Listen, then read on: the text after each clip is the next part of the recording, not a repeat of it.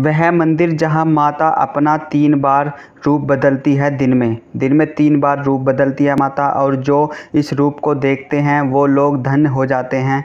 तो आज की इस वीडियो में हम आपको ऐसे ही मंदिर के बारे में बताने जा रहे हैं और ऐसे ही मंदिर को आपको दिखाने जा रहे हैं। जी हाँ प्रसिद्ध चमत्कारी धाम माँ पीताम्बरा देवी यह मध्य प्रदेश में स्थित है। मध्य प्रदेश के दतिया ज़िले में स्थित माँ पीताम्बरा सिद्धपीठ है। इसकी स्थापना 1935 में स्वामी जी ने की थी।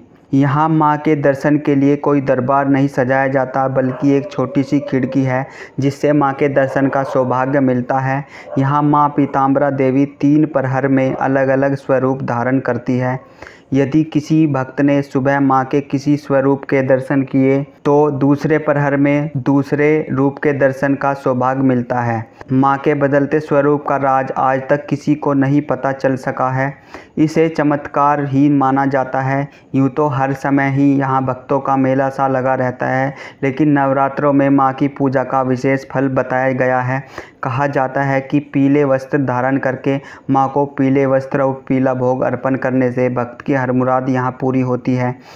तो दोस्तों, यहाँ पर माँ अपना दिन में तीन बार रूप बदलती है। तो ये एक बहुत बड़ा चमत्कार है, जिसे दूर दूर से लोग देखने के लिए आते हैं।